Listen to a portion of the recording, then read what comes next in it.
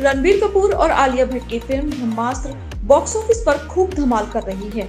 हाल ही में डायरेक्टर अयान मुखर्जी ने फ़िल्म के दसवें दिन का बॉक्स ऑफ़िस कलेक्शन का पोस्ट अपने इंस्टाग्राम पर शेयर किया है।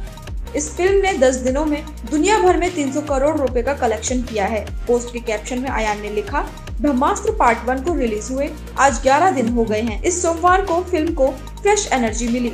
वर्ल्ड वाइड में इस फ़िल्म ने विवेक अग्निहोत्री की फ़िल्म द कश्मीर फाइल्स को पीछे छोड़ दिया है। ऐसे में विवेक ने ट्वीट कर ब्रह्मास्त्र पर सवाल किए हैं। विवेक ने लिखा, मुझे नहीं पता उन्होंने कैसे द कश्मीर फाइल्स को पीछे छोड़ दिया।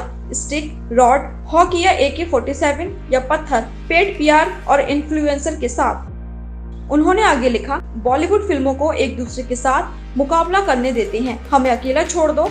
मैं इस फालतू की रेस का हिस्सा नहीं हूँ। डायरेक्टर ने इस पोस्ट के साथ हँसी वाली इमोजी भी शेयर की है।